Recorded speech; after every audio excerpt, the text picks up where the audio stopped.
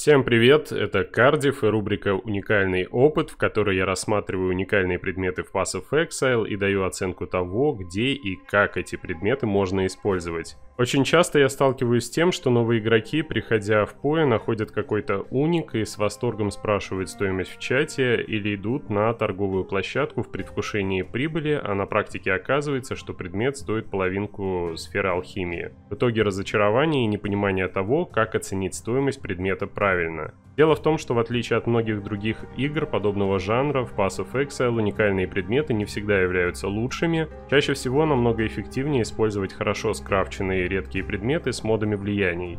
Уники в PoE выполняют различные функции, я бы разделил их на несколько категорий.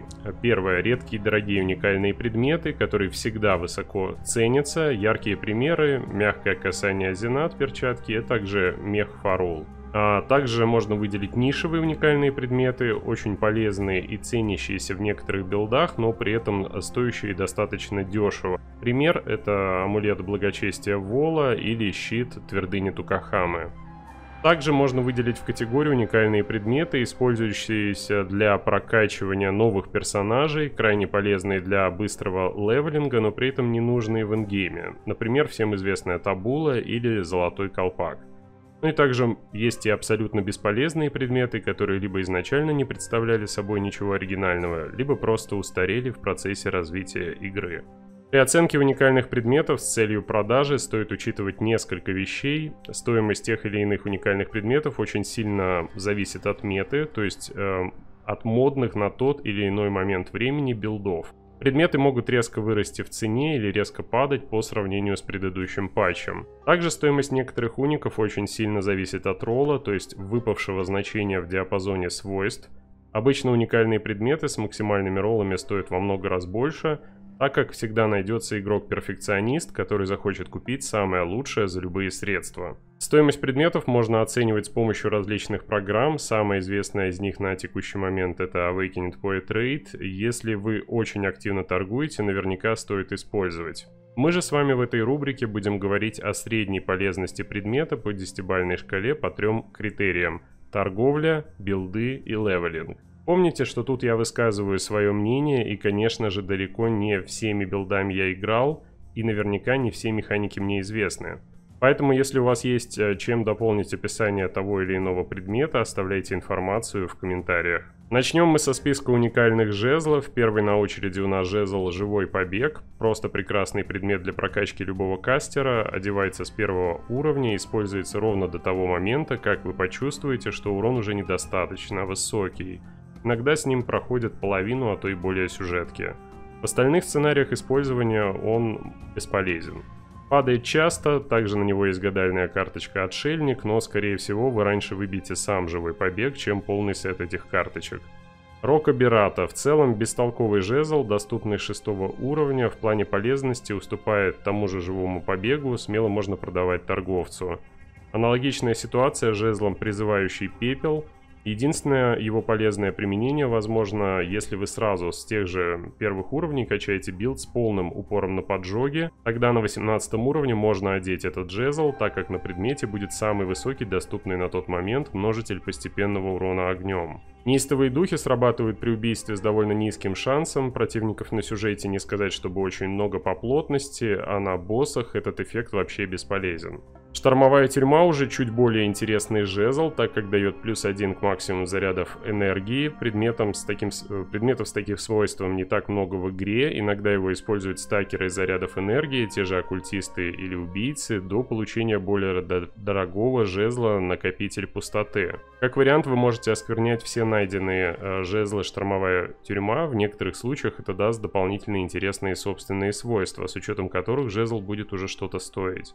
И вот он, великий ужасный, накопитель пустоты. Жезл, который всегда ценился игроками, он, его очень часто используют в билдах с набором зарядов энергии, так как при большом их количестве прибавки урона очень серьезные.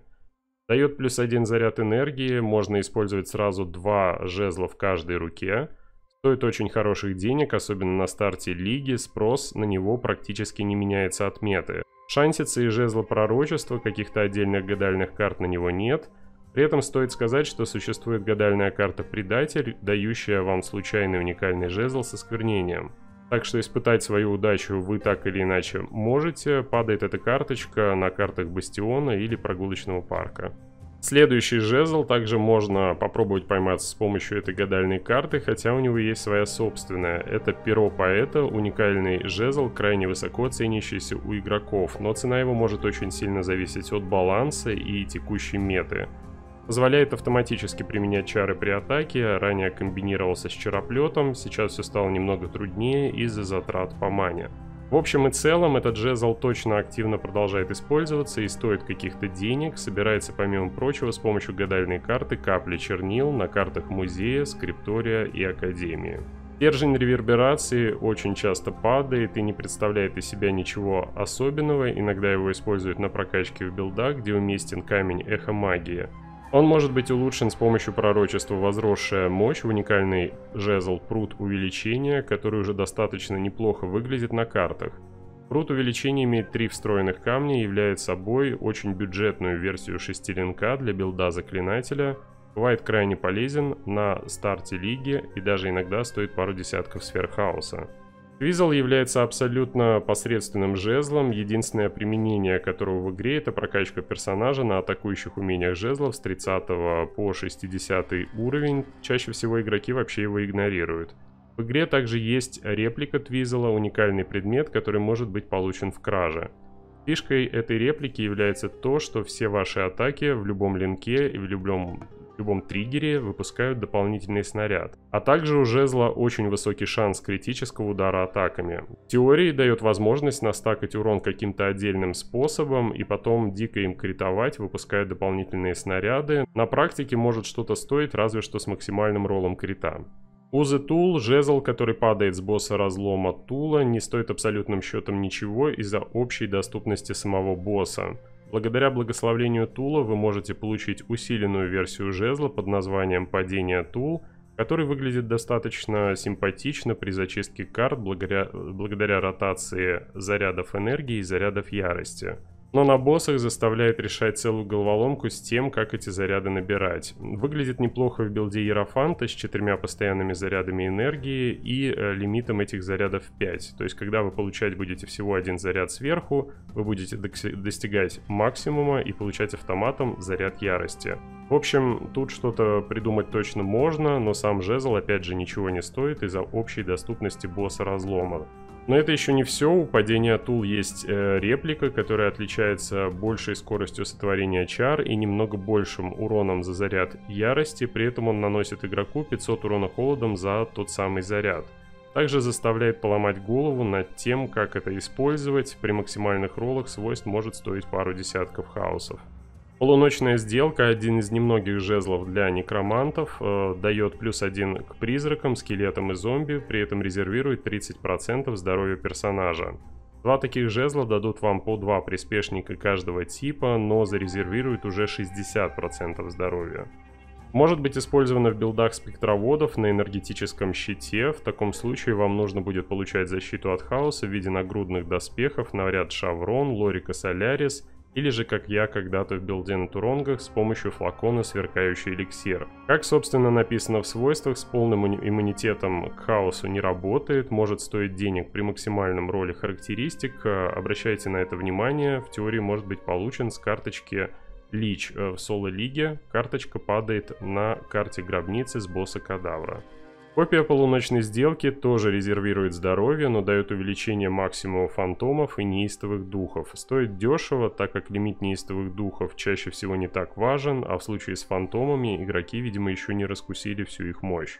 Жезл э, Реликвия Соглашения падал очень часто в Лиге Ультиматум и ничего не стоил, но Ультиматум временно убрали из игры и Жезл теперь вообще недоступен. На стандарте стоит э, каких-то денег сейчас, достаточно высоких, с ним там придумывают очень веселые билды на умение причастия кровью.